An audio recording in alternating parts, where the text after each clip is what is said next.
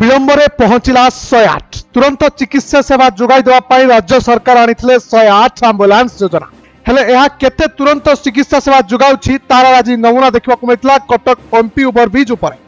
କୌଣସି କାରଣରୁ ଏକ ବ୍ୟକ୍ତି ସେଠାରେ ବେହୋସ ହୋଇଯାଇଥିଲେ ଏହା ଦେଖି ଆମର ସେଠାରେ ଥିବା ପ୍ରତିନିଧି ଖୁଦ୍ ଶହେ ଆଠକୁ ଫୋନ୍ କରିଥିଲେ ଯେ কিভাবে ভাবে তুরন্ত সেবা যোগাই পাব হলে শহে আট বহু লেট্রে পৌঁছলা অর্থাৎ সঙ্গে সঙ্গে সেটা থাকা ফায়ার গাড়ি যোগে তাকে চিকিৎসা পাই কটক এসিবি কু নিয়ে যাই ফোন করবার পাখাপাখি তিরিশ রু চাশ মিনিট পরে আম্বুলান্স পৌঁছি যদি আমি কহবা কি সরকার তুরন্ত সেবা যোগাইবা পাই শহে আট আম্বুলান্স সেবা আনিলে হলে বর্তমান যা এর কোণ অছি বা তুরন্ত সেবা কিভাবে ভাবে যোগাউছি তা আজ কটক ওএমপি ওভরব্রিজ উপরে দেখা মিলে কৌশি কারণের এক ব্যক্তি সেটা বেহোশ হয়ে পড়ে দেখি সেঠার থাকা আম प्रतिनिधि ଆମ୍ବୁଲାନ୍ସକୁ ଯୋଗାଯୋଗ କରିଥିଲେ ହେଲେ ଆମ୍ବୁଲାନ୍ସ ପାଖାପାଖି ତିରିଶରୁ ଚାଳିଶ ମିନିଟ୍ ପରେ ପହଞ୍ଚିଥିଲା ତା ପୂର୍ବରୁ ଏକ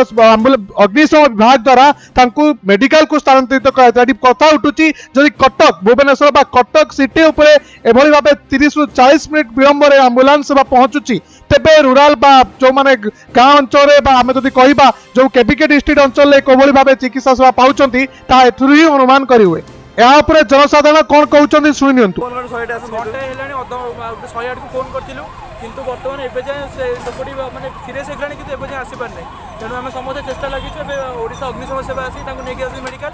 ତ ଆମେ ଏବେ ଯାଏଁ ଅପେକ୍ଷା କରୁଛୁ ଆମ୍ବୁଲାନ୍ସ ଏବେ ଯାଏଁ ଆସି ପହଞ୍ଚିନି ପାଞ୍ଚ ଛଅ ଥର ଆମେ କମ୍ପ୍ଲେନ୍ କରିସାରିଲୁଣି ଆମେ ଲୋକମାନେ ଏଠି ଅଛୁ ସମସ୍ତେ ଓଡ଼ିଶା ଅଗ୍ନିଶମ ସେବା ଆସିକି ନେଇକି ଗଲେଣି କିନ୍ତୁ ଏବେ ଯାଏଁ କୌଣସି ସାହାଯ୍ୟ ମିଳିପାରୁନାହିଁ